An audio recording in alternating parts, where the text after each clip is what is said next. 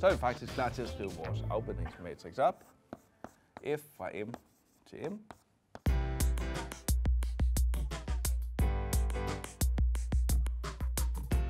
Den her uddannelse den har lidt en masse biologi med fokus på menneskekroppen, og så i samspil med en masse matematik.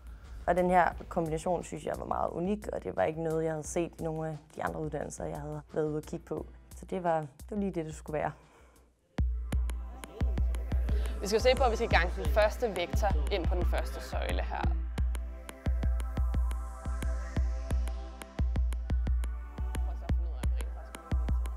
For mig var det egentlig ikke nødvendigvis biologien, der trak mig, men det var faktisk fordi, at jeg er enormt glad for matematik, og jeg ville gerne finde noget, hvor jeg kunne bruge matematikken på noget i det rigtige liv, kan man sige mikroRNA'er, hvis de passer til et bestemt gen, så kan de jo pludselig forhindre ribosomet i at oversætte det. Så har du ikke den enkeltstrengede RNA, så har du pludselig et stykke, hvor den er dobbeltstrenget.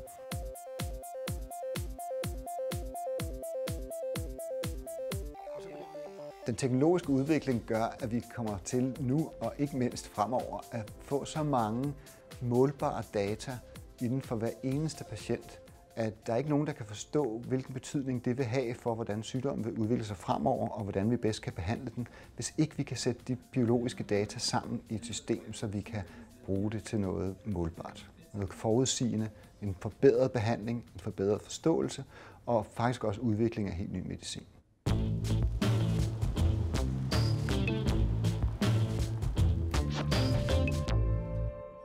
Man starter med at have matematik, som alle skal igennem, og så starter man med at have humanbiologi inde på KU, som er helt basis, hvordan fungerer kroppen. Så i starten der er det meget med, at man skal lære sin matematik, og man skal lære sin biologi, og så jo længere man kommer ind i studiet, jo mere kan man begynde at flette de her to ting sammen, hvilket er super spændende. Vi har om proteinsyntesen. Overordnet set foregår det sådan, at vi starter med noget DNA inde i cellekernen, inde i vores nukleus.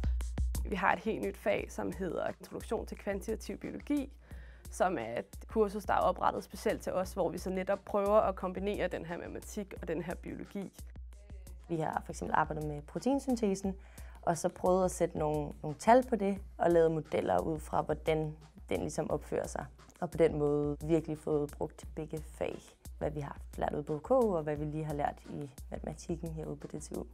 Det synes jeg har været rigtig, rigtig godt.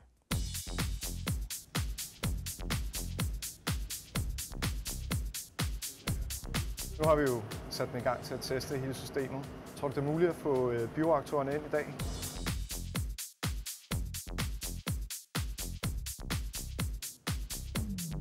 Jeg er scientist i upstream-afdelingen, og det vi laver på Synfacin, det er lægemidler til øh, behandling af patienter med cancer.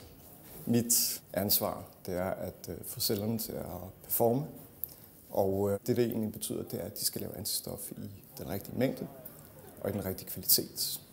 Det kræver jo, at øh, vi laver en masse matematisk modellering og en masse design of experiments for at se, hvad det er for nogle faktorer, der har indflydelse på, hvordan cellen performer. Det jeg elsker ved, øh, ved den her type arbejde, det er, at du får lov til at, øh, at være kreativ. Det er blandingen af at få lov til at øh, gennemtænke nogle eksperimenter og øh, få lov til at udforske sider af den her cellekultur, der, øh, der giver mening i henhold til, hvad, hvad der nu er for et problem, du gerne vil, vil, vil kigge på.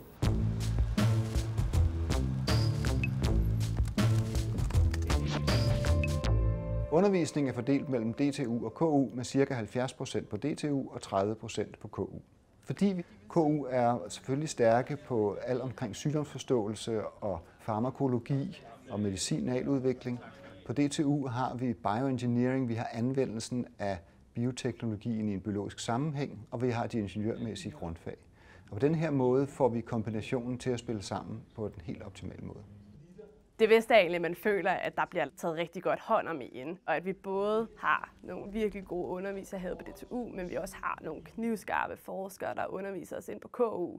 Så netop med den kombination af KU og DTU føler man virkelig, at man får det bedste af begge verdener.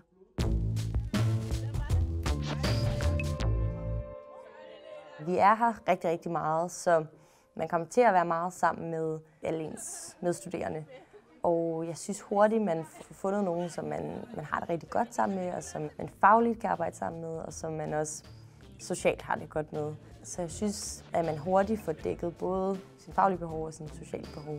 Og så synes jeg, at især DTU har nogle rigtig, rigtig fine øh, faciliteter til at studere i.